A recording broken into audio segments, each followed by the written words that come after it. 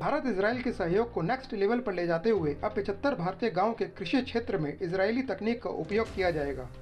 Bharat Israel गठबंधन का यह अनोखा सहयोग भारत की आज़ादी की पिछहत्तरवीं सालगिरह पर पिछहत्तर गाँव के कृषि का कायाकल्प करके मनाया जाएगा। आपको बता दें कि इसराइल एग्रीकल्चर टेक्नोलॉजी में वर्ल्ड लीडर है। बावजूद इसके कि उसका आधे से ज़्यादा जमीनी क्षेत्र रेगिस्तानी है और वहाँ पानी की भारी कमी है। यहाँ आपको यह भी जानना चाहिए कि क्षेत्रफल के लिहाज से पूरा इसराइल भारत के हरियाणा राज्य का लगभग आधा है। अभी भारतीय कृषि मंत्री नरेंद्र सिंह तोमर 8 मई से चार दिन की इसराइल यात्रा करके लौटे हैं। नरेंद्र तोमर की मुलाकात इसराइल के कृषि मंत्री ओडेड फोरेट से हुई और दोनों ने बहुत सारे मुद्दे, जैसे कि modern agriculture technique capacity building और ट्रांसफ़र ऑफ़ नॉलेज पर चर्चा की। इसके अलावा दोनों की बातचीत में वाटर मैनेजमेंट पर भी काफ़ी ज़ोर दिया गया। इन पिछहत्तर गाँवों में इसराइली तकनीक का उपयोग करने के बाद अगले पिछहत्तर गाँवों को इस तकनीक से जोड़ा जाएगा।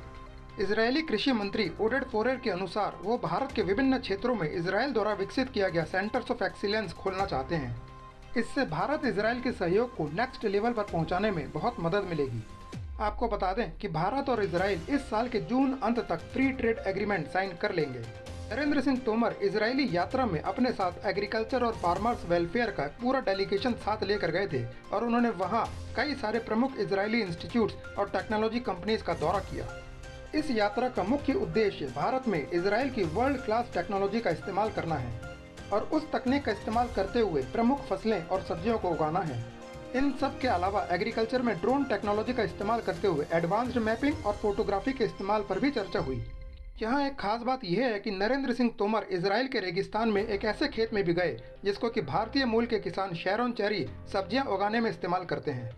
तो आशा है कि अब भारत के कृषि क्षेत्र में इसराइली तकनीक का भरपूर फ़ायदा मिलेगा। तो अब आप इसके बारे में क्या सोचते हैं? आप हमें कमेंट सेक्शन में कमेंट के ज़रिए बताइए। हमें आपके कमेंट का इंतज़ार रहेगा। अगर आपको यह बुलेटिन पसंद आया हो तो इसे लाइक और शेयर करें। और हाँ इस चैनल को सब्सक्राइब करके बेल आइकन के बटन को दबाना ना भूलें, जिससे कि हमारी अगली नोटिफिकेशन आप तक पहुँचती रहे।